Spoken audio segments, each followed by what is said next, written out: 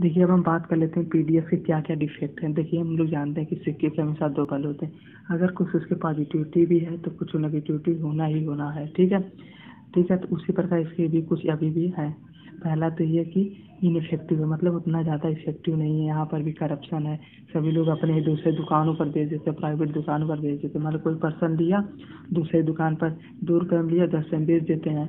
और दूसरा ये है कि वो जितने भी राशन शॉप वाले होते हैं ना, वो ज़्यादा प्रोवाइड नहीं करते। हैं मतलब ग्रेन तो आता है फ़र्स्ट अमाउंट में, जहाँ पर तीन किलो देने की ज़रूरत रहा, वहाँ पर दो ही किलो देते हैं। और एक किलो जो उनका बचता है वह हाँ मार्केट में सप्लाई कर देते हैं, ठीक है?